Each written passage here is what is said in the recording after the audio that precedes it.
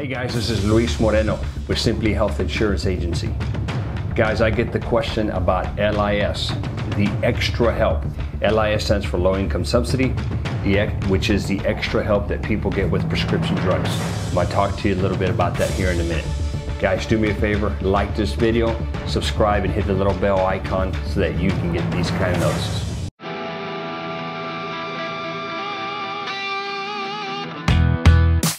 Hey guys, Luis Moreno again here. Uh, I'm going to talk to you about LIS.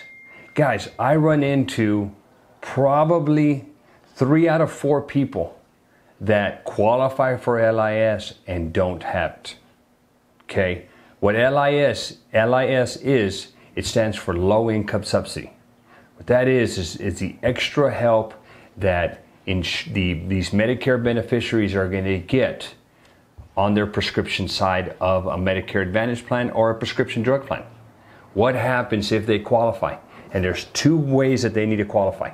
They got to meet the income limits and they got to meet the asset limits. Assuming that they do that, there's a five minute application that needs to be completed on ssa.gov. Just or Google extra help with prescription drugs. Go in there, fill out an application for them. It'll take a couple of weeks for it to get approved. Worst case scenarios, they get denied and nothing happens. But if it does get approved, two things will happen for you. It's going to create a special election for you. And secondly, it's going to help the insureds out dramatically, guys. It gets rid of the donut hole. It gets rid of any premium payments that they may have associated with a late payment or, or, or a late penalty. And it, it decreases the copays for their prescriptions. It is huge for our seniors if you can get them qualified for this. Guys, take advantage of it. Uh, one of the ways that I that I check to see if an insured has it is you can always ask questions like, "What do you pay for your drugs?"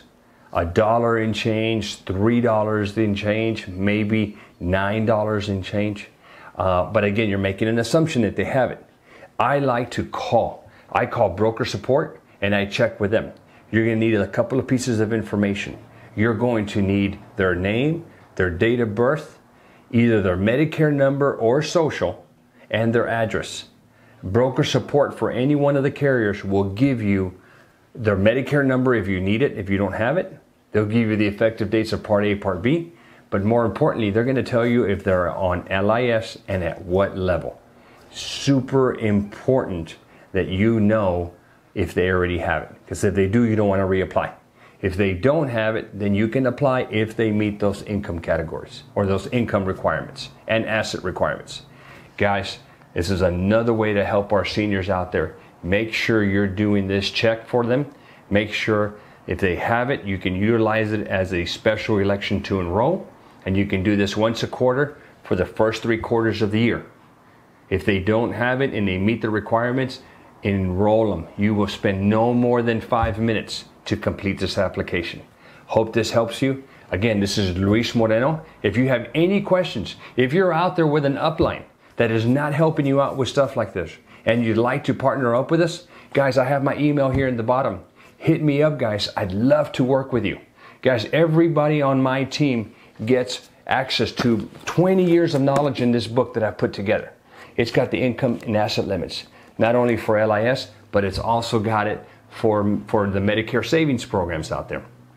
Guys, we will help you out. We have a vested interest in your success. Please take advantage of us. Shoot me an email or hit on the description. It's got my cell number there. Give me a call. I'd love to partner up with you. Again, Luis Moreno. Like this video, subscribe, and hit the little bell icon for tips like this. Thank you.